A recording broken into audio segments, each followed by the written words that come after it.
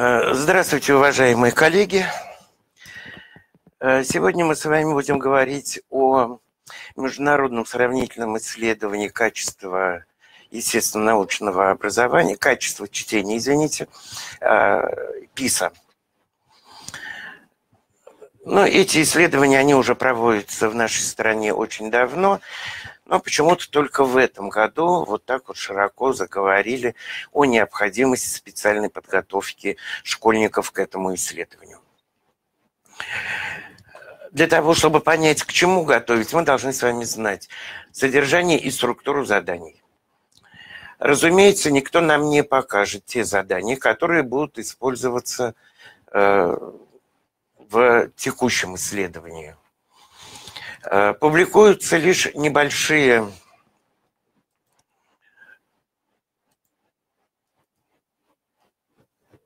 секундочку. Другая аппаратура. Публикуются лишь небольшие фрагменты э, заданий э, из общего числа всех этих заданий. И вот я выбрал несколько таких примеров, где есть химия. Что важно нам иметь в виду постоянно? Во-первых, оцениваются достижения учащихся, которым исполнилось 15 лет. Для нас это ученики 8 и в основном 9 класса. Вот это вот первое, на что мы с вами должны обратить внимание. Второе, на что мы с вами должны обратить внимание – Заданий по химии как таковых здесь нет. Есть что-то около химии. Вот сейчас я вам буду показывать э, эти задания, с вами мы их будем разбирать, и тогда вы сами сможете убедиться, что, в общем-то, э, ничего такого страшного в этом исследовании для учителя нет.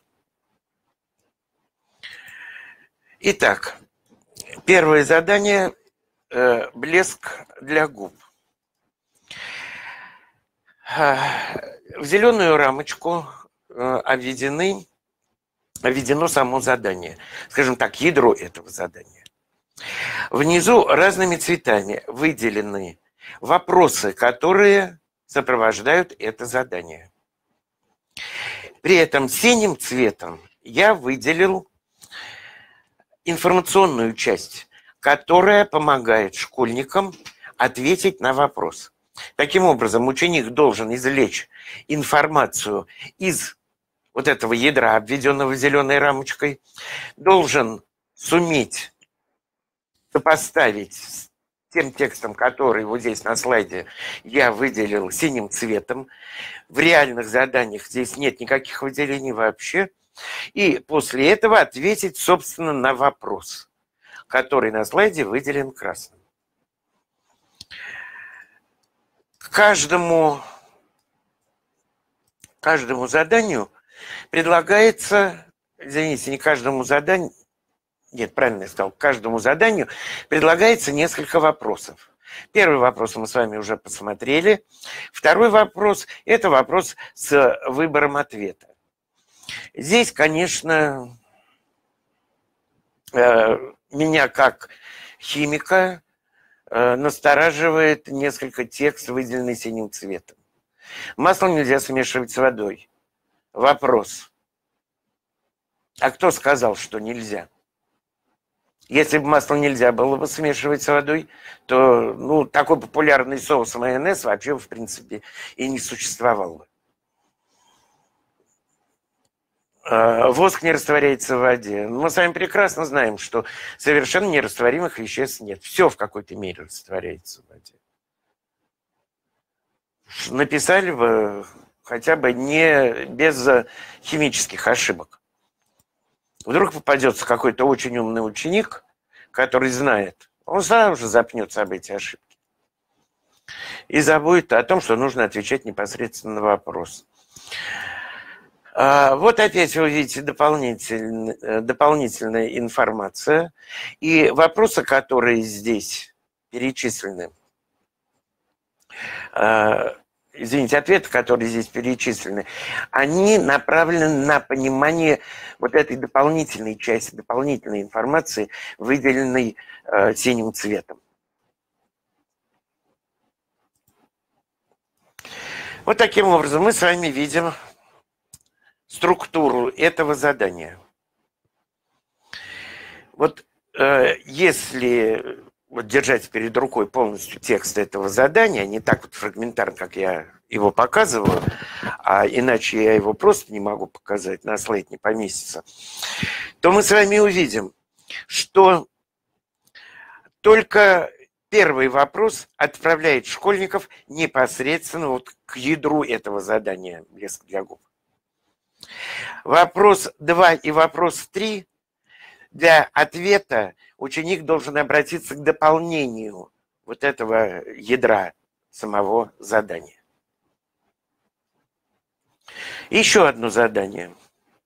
Питьевая вода.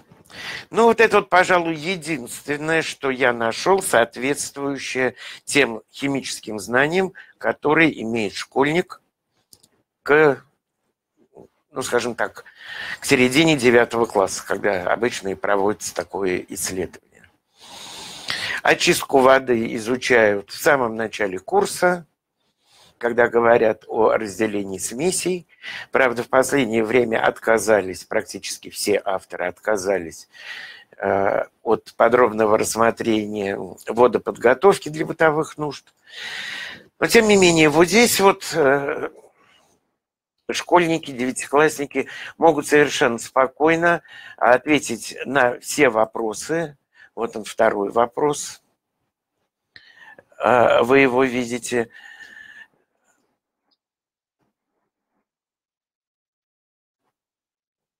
Третий вопрос. Зачем вот добавляют хлор? Ну, к этому времени, к времени проведения исследования, э, все наши учащиеся по любой программе уже изучили тему галогены, уже знают области применения хлора.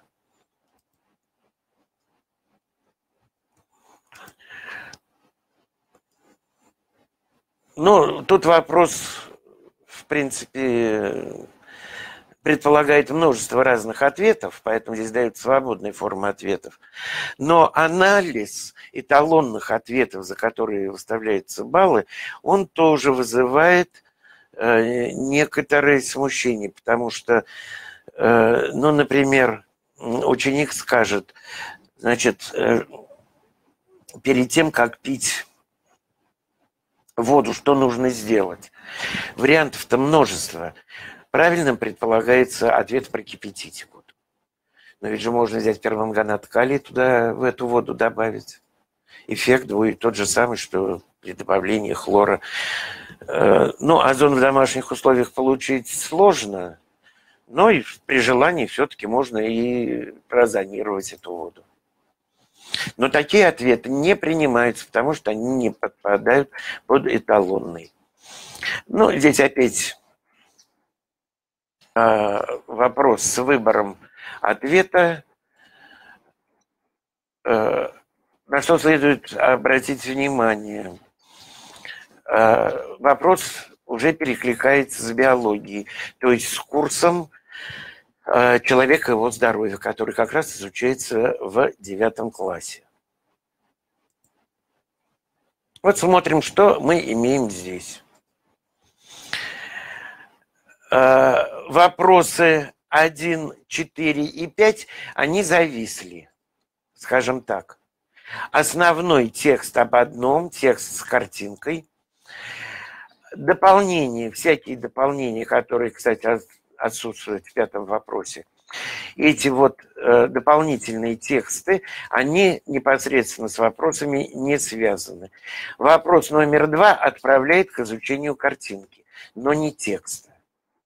То есть мы должны своих учеников учить извлекать информацию не только из напечатанного текста, из дискретного текста, но и из аналогового текста, то есть из каких-то изображений, которые приводят авторы заданий в этом исследовании.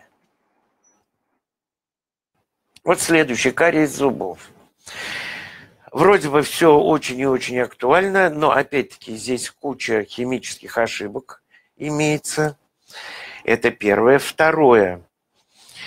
Органическую химию к этому моменту дети еще не знают.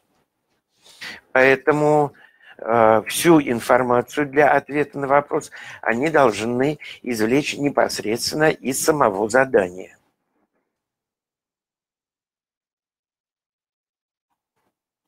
То есть вот посмотрите, э, вот приводится четыре пункта, и ученик должен выяснить, какова же роль бактерий. То есть из этих вот четырех пунктов, вот, которые идут после слова, например, вот здесь вот ученики должны синтезировать ответ из этих вот четырех пунктов.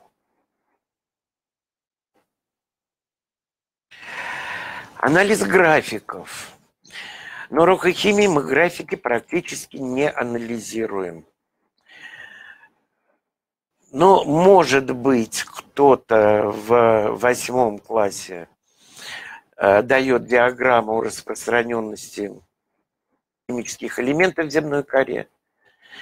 Некоторые обращаются к графикам и диаграммам при изучении скорости химической реакции, химического равновесия. Но все это такие вот отдельные эпизоды, крайне редкие. Поэтому Здесь ученик не может опереться непосредственно на знания, полученные при изучении химии.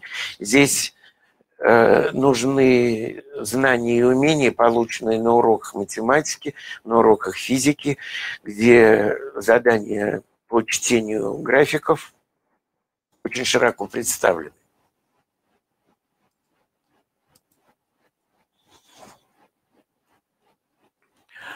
Вот э, третий вопрос. Он построен по тому же принципу, что был вопрос. Вот в предыдущем задании нужно ввести «да» и «нет». А, хотя, в общем-то, вот из э, той диаграммы, которая была, извините, с того графика, который был приведен раньше, я бы, например, сказал, сколько должно стоить посещение зубного врача. Я бы здесь бы ответил «да». Потому что очень часто человек не идет к врачу только лишь по той простой причине, что ему нечем оплатить услуги этого врача. Далеко не во всех странах медицина бесплатная. И даже там, где она есть бесплатная, многие предпочитают обращаться все-таки в платные медицинские организации. Так что вопрос здесь э, довольно-таки спорный. Скажем так, он некорректно сформулирован. И, в общем-то, здесь должны быть, в принципе, готовы к этому. Вот смотрим структура вот, казалось бы, третий вопрос должен нас отправить вот к этой вот диаграмме.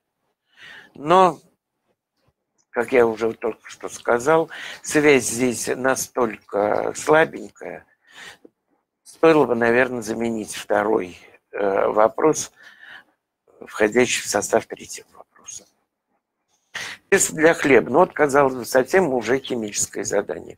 Но опять-таки, процессы брожения, они изучаются конце 10 класса, когда мы наконец доходим до углеводов. Значит, опять-таки ученик должен вычерпывать информацию, исходя из того, что ему дали.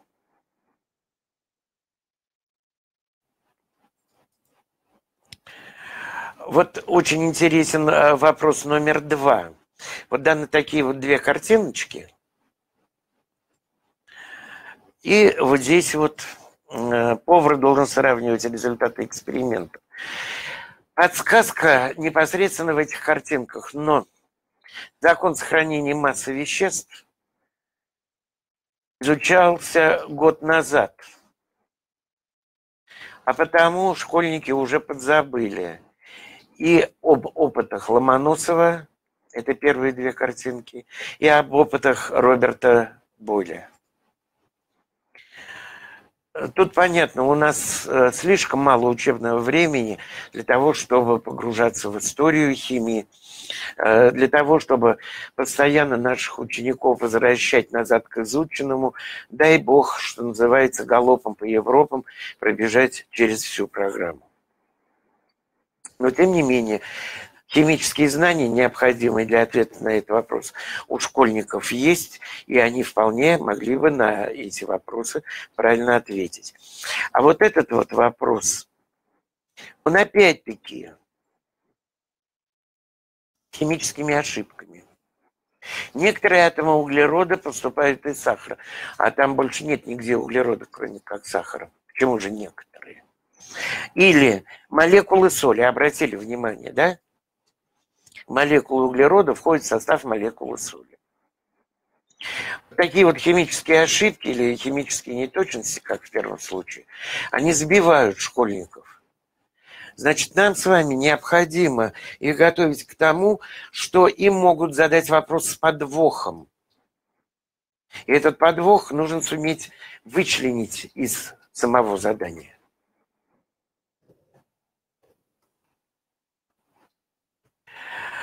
Вот опять-таки, здесь я уже эту схему не комментирую, вы все прекрасно э, видите здесь, что с чем связано. Вопрос номер три, он опять-таки повисает в воздухе. Э, здесь уже основа э, для правильного ответа те знания, которые ученик имеет. Ну, кислотные дожди. Тоже довольно-таки интересный довольно-таки интересные, интересные задания, кислотные дожди. А, к этому времени школьники уже э, знают свойства элементов пят, главной подгруппы пятой группы. И поэтому они могут сказать, откуда оксид серы и оксид азота э, попадает в воздух. Но Кислотный дождь, вот обратите внимание, кислотный дождь более кислый по сравнению с обычным дождем. Вот если ученики остановятся только вот на этих вот двух ответах, почему обычный дождь, он все-таки тоже кислый, и не ответит, откуда дальше попадают, э, откуда еще попадают оксиды азота и серы, то ответ уже не будет зачтен как правильный. Э, значит, вопрос номер один, он предполагает полный развернутый ответ. Как вы видите, здесь не дается никаких вариантов для ответа. Вот вопрос номер два. Опять-таки, это у нас задание, связанное с законом сохранения массы веществ, сознанием а, физических э, свойств оксида углерода 4. Ну, понятно, что здесь меньше, чем 2 грамма.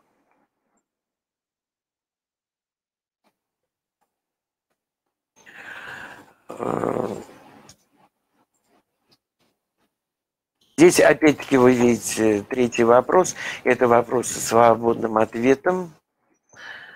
А, и он, в общем-то, проверяет не столько знание непосредственной химии, сколько еще и умение ставить контрольный опыт. Вот опять структура этого задания. И, в общем-то, у нас возникает э, вполне законный вопрос. Для того, чтобы готовить детей к э, выполнению таких заданий, нам необходимо иметь сами эти задания. Здесь, в общем-то, можно э, предложить два пути. Да, вот перед вами, извините, забыл про этот слайд. Обобщенная структура заданий, тексты используются, используются рисунки, фотографии, используются графики, диаграммы. Причем вот это вот левая и центральная часть данного слайда, она дает информацию для того, чтобы правильно ответить на поставленный вопрос. Получается, что эти задания проверяют не столько химические знания, сколько умение работать с текстом. Умение из текста извлекать информацию. В данном случае под текстом я также понимаю и графики, и диаграммы, и фотографии, и какие-то схематические изображения, рисунки и так далее, и тому подобное. Вот перед нами перечень химических знаний в заданиях ПИСа. Вы видите, что э, для того, чтобы проверять вот непосредственно химию, школьники должны уже быть во втором полугодии 11 класса. А это уже никак не 15-летний. Вот, возможно, именно поэтому, по этой причине в заданиях ПИСа как таковых химических знаний-то и нет. То есть мы не проверяем здесь умение составить уравнение химической реакции или описать свойства какого-то конкретного вещества, подтвердив опять-таки уравнение химических реакций, или решить какую-то задачу по расчетам с расчетами по химическим формулам или уравнениям. А вот свойства задания, они довольно-таки у нас интересные. Во-первых, все эти задания связаны с повседневностью. Не с какими-то там страшными, э, ну не знаю, окислительно-восстановительными реакциями и расстановкой в них коэффициентов методом полуреакции. Нет там такого. Вот все непосредственно из жизни. Второе. Это межпредметные знания.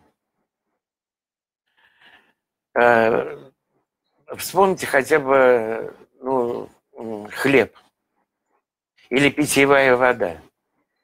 Межпредметные знания. Ученик должен суметь объединить знания, полученные на уроках биологии и физики, отвечая, извините, химии, отвечая на э, вопрос, что будет, если человек выпьет неочищенную воду. Э, универсальные учебные действия. Ведь вот это вот вычерпывание информации, которая представлена в самых разнообразных формах, это есть не что иное, как э, универсальные учебные действия. Ну и, наконец, минимум химических знаний. То есть задания в формате ПИСа, они полностью соответствуют личностным, метапредметным и предметным результатам, прописанным в федеральном государственном образовательном стандарте.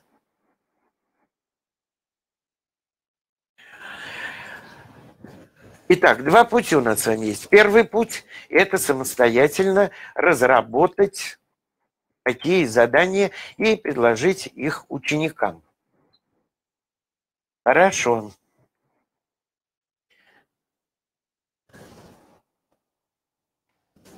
Вот в интернете находим задание, а, связанное с консервными. Комплементарен ли текст этого задания тому химическому материалу, который мы в это время изучаем? Здесь речь идет о э, бисфеноле, о половом гормоне эстрогене, и о жестяных банках. Все это мы в данный момент не изучаем. Значит, мы не можем сказать, что вот этот вот текст комплементарен э, школьному курсу химии 8-9 класса. Уже по этому принципу мы не можем э, задание на основе этого текста предлагать нашим ученикам. С точки зрения актуальности, да, это актуально. Сейчас все говорят о здоровом образе жизни. Непосредственно вот этот текст я взял из интернета, с одного из интернет-сайтов, Но, э, как у нас всегда бывает в интернете, один глупость написал, другой подхватил и разместил на своем сайте. Пошла цепочка, в конечном итоге невозможно выяснить, а кто же именно первым все это насочинял. Тем не менее, здоровый образ жизни здесь ясно просматривается, актуально. Э, идем в поход, консервы, актуально. Даже если мы предположим, что вот в данный исторический момент мы изучаем э, тему железа, все равно вот притянуть сюда, разработать какое-либо конкретное задание, связанное непосредственно вот с этим вот железом, ну, практически невозможно. Наконец, э, третий момент. Третий момент – это насколько доступен этот текст. Вспомните, в заданиях ПИСа давались дополнительные какие-то разъяснения каждому из вопросов внутри задания. Но попытаюсь я сделать этот текст доступным. Приведу формулу э, бисфенола А, это формула слева.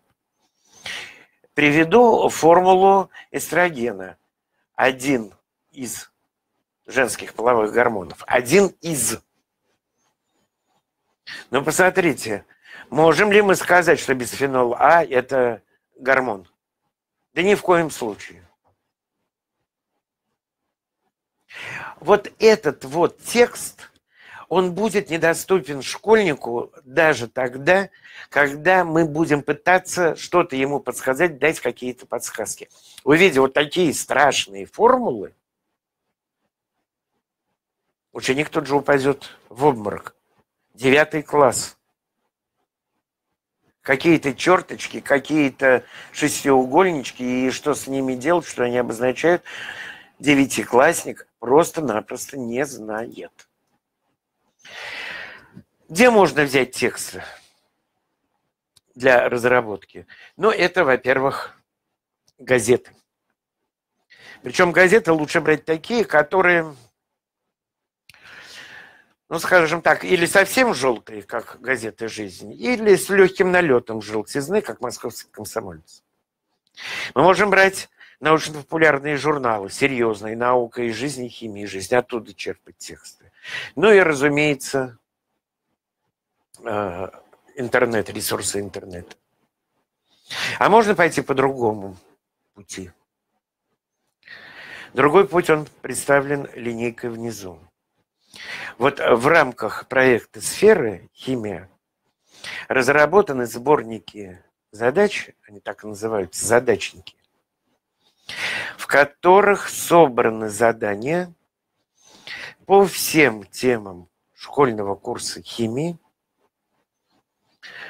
А, и эти задания, они разработаны в формате ПИСа. То есть они заставляют ребенка работать с текстом. Редкие-редкие исключения, когда задание как-то вот выбивается из этой вот из общей линейки. Отвечу на предполагаемый вопрос. А, линейка учебников с 8 по 9 класс включена в федеральные перечни учебников, поэтому вы можете в соответствии с федеральным законом об образовании и третьей частью федерального государственного образовательного стандарта основного общего и среднего общего образования, вы можете смело их заказывать, и школа их получит бесплатно за счет средств федерального бюджета. А вот задачники, они не являются предметом сертификации, к сожалению. Задачники, они разработаны э, по той же схеме, что и учебники. То есть глава в учебнике – это глава в задачнике. Параграф в учебнике – это параграф в задачнике. Заданий дано в избыточном количестве, так, чтобы учитель мог выбрать, какое ему задание понравилось, то и дал. Требовать, чтобы ученик выполнил все задания, это значит, или же они будут делиться друг с другом, то, какое задание выполняет, потом будут списывать друг у друга, один вариант. Второй вариант, они будут делать только эти задания в ущерб изучению других предметов. Ну и третий вариант, они вообще не будут делать задания.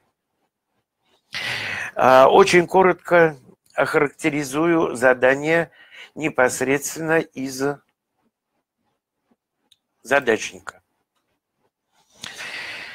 А, вот э, в отличие от заданий ПИСа, здесь на каждом задании отрабатывается какое-то одно универсальное учебное действие, а лучше сказать универсальное интеллектуальное действие. Вот, например, составление плана. Сворачиваем текст до плана. Ведь же нам это нужно не только пока мы учимся. И когда мы учим, то есть в практической деятельности человека тоже возникает необходимость свернуть большой текст в компактный план.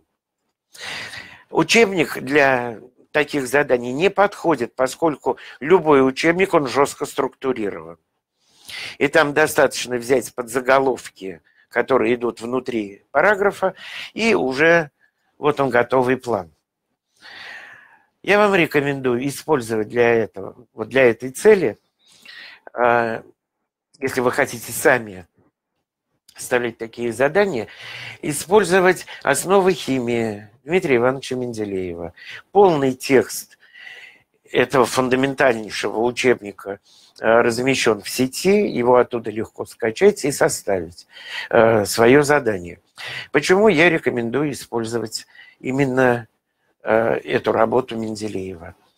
Текст очень слабо структурирован.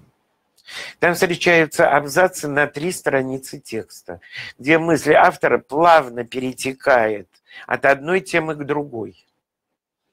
И вот здесь вот у ученика уже нет подсказки, где же, в каком месте э, начинается новая мысль ученого, где э, начинается, скажем так, новый пункт плана. Это первое, чем интересен Менделеев. Второе, чем он интересен. А, эти тексты, они значительно по своему содержанию отличаются от текстов учебников. Здесь очень много исторических фактов приводится. Здесь очень много географических фактов, физических фактов. То есть то, что объединяет химию, физику, физическую географию, биологию в одно единое целое, что мы называем естествознанием. И то, на что у нас не хватает времени на уроке, вот эту вот информацию школьник запросто получает при выполнении такого задания. Ну и, наконец, третье. А, мы на уроках пользуемся в подавляющем большинстве случаев а, химической номенклатурой ЮПАК. Совершенно забывая о том, что существуют тривиальные названия веществ, что существует старая русская номенклатура. Например, э, что такое э, бикарбонат натрия, редкий ребенок ответит. Что такое кислый-кислый фосфорно-кислый натрий, редкий ребенок нам ответит. Потому что это в школе не изучается. Но это есть у Менделеева. И вот опять-таки, используя такие тексты, можно перебросить мост, два мостика. Первый мостик из школьного кабинета химии на кухню к ребенку. А второй мостик, который мы перебрасываем, это уже мостик исторический. От современности к тому, что было 150 лет тому назад. Уже даже больше. Вот э, изменение знаковой системы, здесь оно все довольно-таки просто. Мы постоянно этим занимаемся, изменяем знаковую систему. Например, мы проговариваем, что там водород горит в кислороде с образованием воды. И записываем уравнение реакции. Пожалуйста, мы с вами изменили знаковую систему. Мы перешли от естественного русского языка к искусственному языку химии. Вот таких вот заданий здесь э, довольно-таки много. Также здесь вы сможете найти обратные задания, когда нужно с химического языка сделать перевод на русский язык. То есть дается уравнение какой-либо химической реакции. К нему, конечно же, задание, что нужно расставить коэффициенты. То есть э, в задачнике, непосредственно в задачнике схема, в тетради этого превращается уже в уравнение после расстановки коэффициентов. И дальше идут уже дополнительные задания. Например, составьте рассказ не менее чем из 5-7 предложений на основе той информации, которую вы получили при чтении данного э, химического уравнения. Есть вот такие задания, то есть задания на обратный перевод. А, точки зрения аргумента. Но вот здесь вот я в презентацию не стал вставлять а, задание под хитрым названием «Куриный форум». Вы в конце увидите QR-код, а, который приведет вас непосредственно к этому заданию. Вот там вот разные точки зрения на одно и то же явление. Не буду рассказывать, что, а то вам будет неинтересно потом поработать с этим заданием. Но здесь, в общем-то, ученик должен дать э, очень четкий ответ, аргументированный ответ. Согласен он или не согласен. Встречаются задания несколько усложненные. Например, приведите аргументы за и против какой-либо точки зрения. То есть дается информационный текст, и после него приведите аргументы за то, что вот это правильно, и отдельно приведите аргументы против.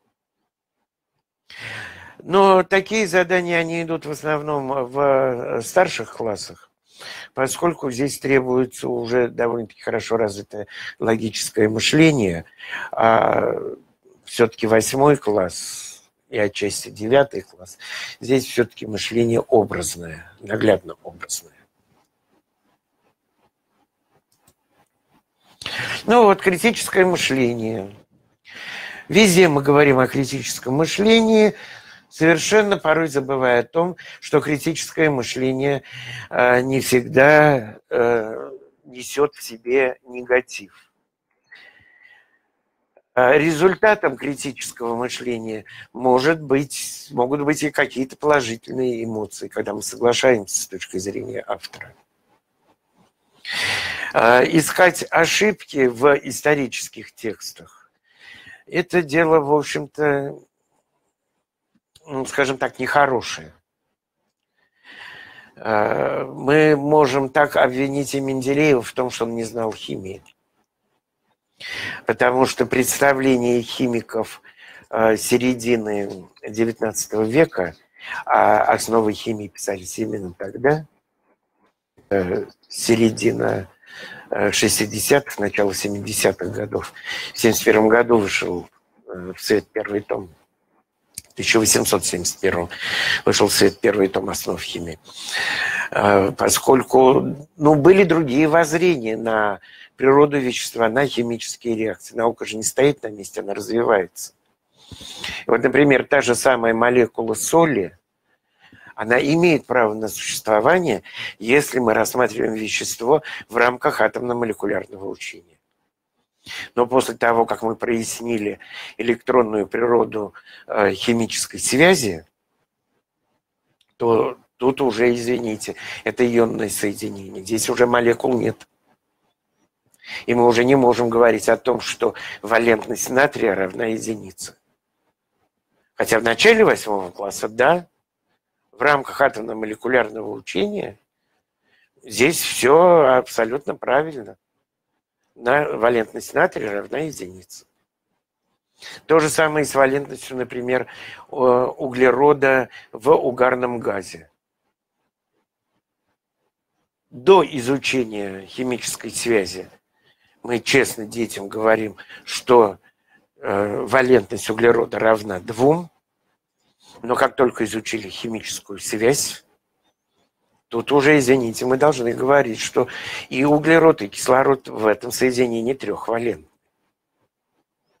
А цифра 2 в скобках после названия – это ни в коем случае не валентность, а это степень окисления. Еще один пример – оксид азота 5. Валентность 4 у азота, степень окисления у азота, как мы с вами знаем, 5. Или э, пентакарбонил железа. То, во что превращается железо из, из гемоглобина, когда человек надуш, надышится угарным газом. Валентность железа 5 в этом соединении, степень окисления железа 0.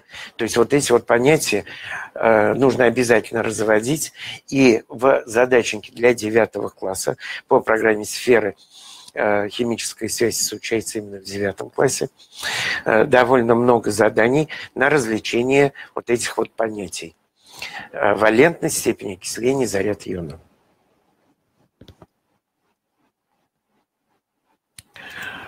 Вот еще пример развития критического мышления, так называемые софизмы. Утверждение, которое на первый взгляд кажется совершенно достоверным, совершенно обоснованным. Э, вспомните, как э, черепаха не может догнать бегуна, поскольку пока э, бегун Извините, бегун не может догнать черепаху, поскольку пока бегун делает один шаг, то черепаха тоже продвигается вперед. Расстояние сокращается, но никогда не будет равно нулю между ними. Или в математике довольно-таки часто используется доказательство того, что 2 умноженное на 2 равно 5. Но вот в этих вот софизмах есть одна, иногда две ловушки логических. На первый взгляд незаметные, но именно они приводят к неправильному ответу. Вот э, пример из учебника для 9 класса, тема теории электролитической диссоциации. Здесь, кстати, в этом задании связываются не только знания химии, но и знания физики тоже. Они уже знают проводники первого и второго рода.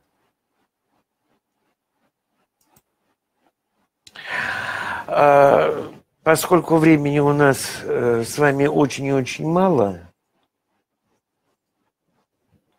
а, я вам просто вот даю вот эти вот ссылки, QR-коды.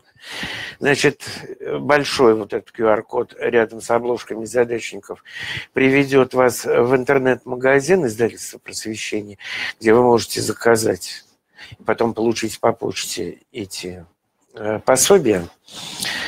Там они, знаете, многократно дешевле, чем э, в книжных интернет-магазинах, и тем более в книжных магазинах в обычных.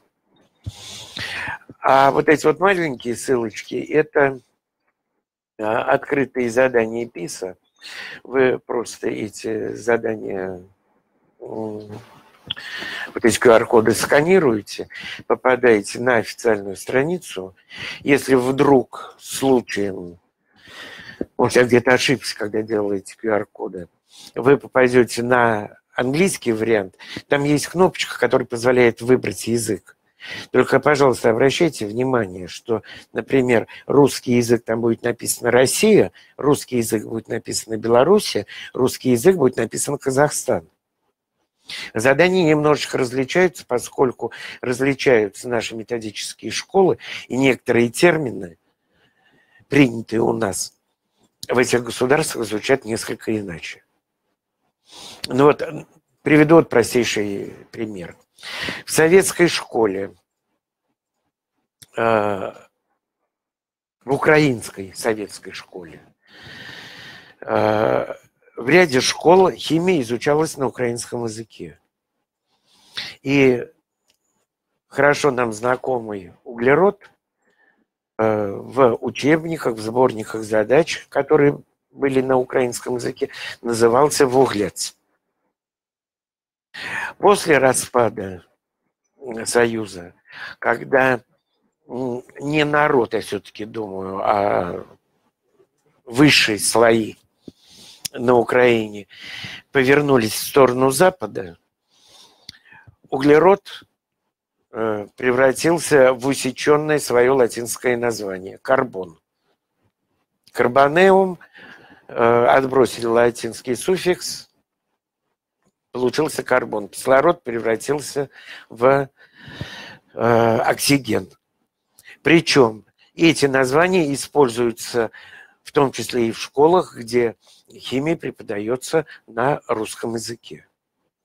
Вот поэтому, если вдруг вы вот на этом вот сайте, и наверняка сейчас там появились какие-то новые задания, э, выбирайте, пожалуйста, задание на русском языке в соответствии с той страной, где вы работаете. Я просто здесь вот увидел в общем чате, что тут есть, в общем-то, представители, среди слушателей есть представители и других государств. Ну, а сейчас я здесь попытаюсь найти вопросы, вот две штуки. Если есть вопросы, пожалуйста. Так, вот, пожалуйста, отвечаю.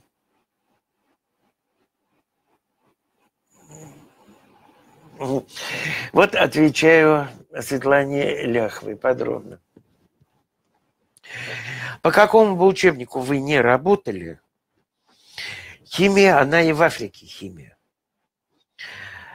А, другая компоновка а, материала. Ну вот если вы, например, будете сравнивать программы а, к учебникам под редакцией Лунина, это коллектив авторов химического факультета МГУ, уже ставший классикой учебник Рудица и Фильмана, или возьмете сферы, вы увидите, что разворачивается материал именно в той последовательности, в одинаковой последовательности, вот в этих вот трех линиях учебников. Если возьмем учебник, ну, я не знаю, нет его уже в перечне, Олега Сергеевича Габриляна, издательство «Дрофа», там же он идет по пути высшей школы. Сначала массивно, э, массированно дается теория строения вещества, химические реакции, а потом уже э, пошло накопление каких-то эмпирических знаний. Можно использовать, конечно же, только нужно будет переставлять местами.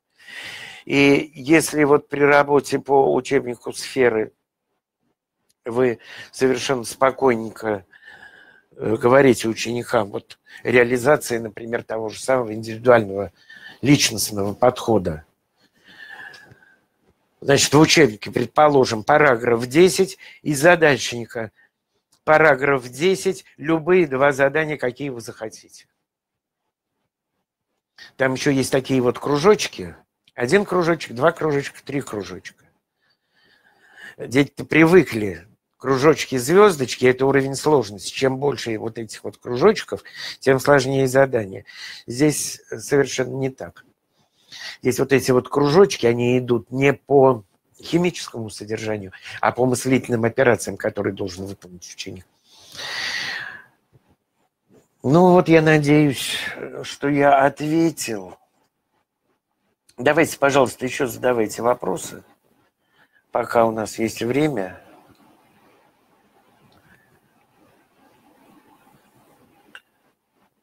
Так. Кстати, э, пока вы пишете мне вопросы, я вот сейчас занимаюсь студентами Московского государственного областного университета методикой химии, в частности, таким разделом, как формирование и развитие химических понятий. И вот мы с ними сравниваем, как одно и то же понятие формируется – а, и развивается в разных линиях учебников.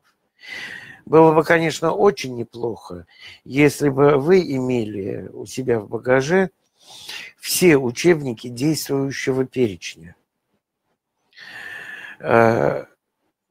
Они сравнительно недорогие. Опять-таки, если их покупать в интернет-магазинах издательств, а не в книжных магазинах. Ну, например, э, цена учебника «Сфера» для восьмого класса в лабиринте в два раза больше цены э, в интернет-магазине издательства просвещения. В два раза больше. Когда вы будете иметь вот живьем перед собой учебники, когда вы их внимательно прочитаете, сравните друг с другом, сравните изложение материала в учебнике с уровнем ваших учеников, вот тогда вы сможете сделать правильный обоснованный выбор той или иной линейки учебников. Так, ну вопросов нет.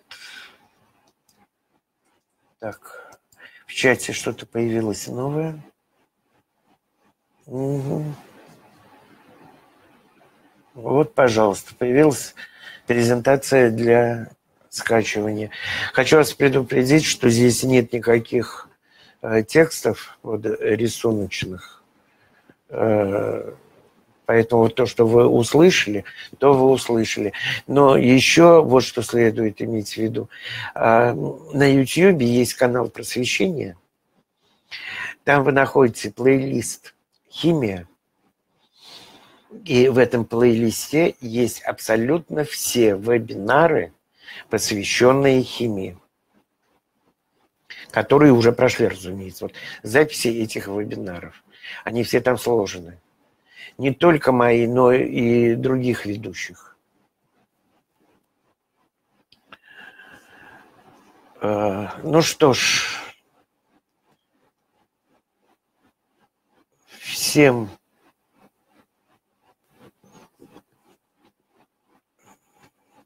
Вот. Вот посмотрите, что мне написала Елена Балакирева. Не мне, а в чате. Вот найдите.